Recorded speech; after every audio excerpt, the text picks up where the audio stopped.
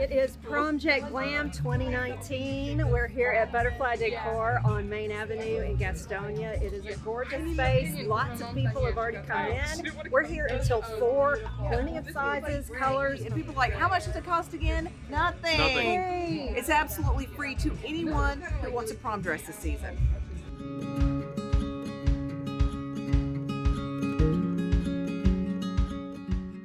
We have absolutely seen our loyal listeners come out of the woodwork to Gastonia. We had a line all the way down Main Avenue this morning, starting at 8 o'clock. We opened at 10. There are literally over 5,000 dresses here. So from size 0 to 32, we won't let any girl leave the facility until they find a dress. And this year, thanks to Lily Rose Bridal, not only did they donate dresses, but they donated an amazing array of shoes. So we have beautiful shoes for the girls to take along with their dress. And you know, we keep saying every year, this is the last year we're going to do it, but we keep doing it because the need in our community is so great. Money, financial times are tough for so many people, and we don't want any local girl to be upset and feel like she can't go to prom and she can't afford a dress for prom. We have a dress for everybody.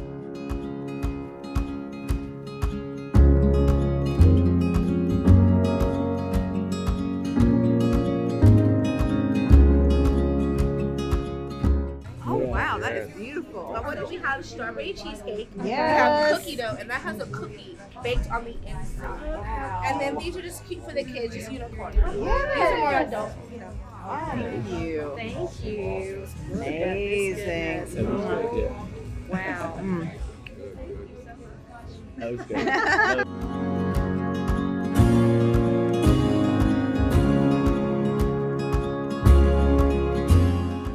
Promject Glam for me, it goes back to when I was a high school girl wanting to go to prom.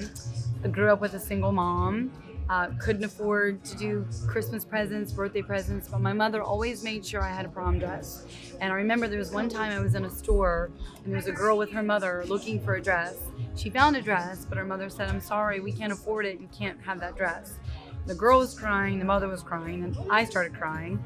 Didn't want them to know that I was crying. So, because of that situation and my own personal situation growing up, I wanted to be able to share with everyone the power of our radio station of what we can do to help in the community. And this event truly is about giving back. No one, you know, makes any money or generates anything from it other than being a good human being and taking care of others in our community. But I can bag that. I love you ready? Oh, no, sorry. I didn't Let's see if I can, if I can get that into a bag and not make it, not make a mess out of it. Oh, Lord, you got a man trying to bag this thing. It's not going to be good. See, how- watch, watch how long it's going to take me.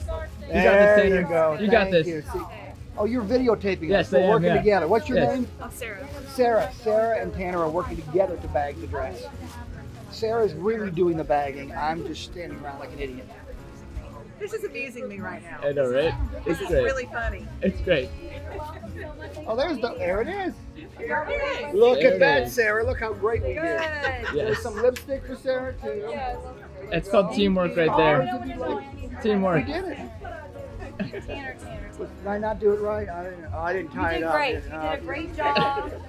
You did a great job, Tanner. I'm just gonna gonna take some put- lipstick and go then. You did amazing. I'm just gonna put a finishing touch on it.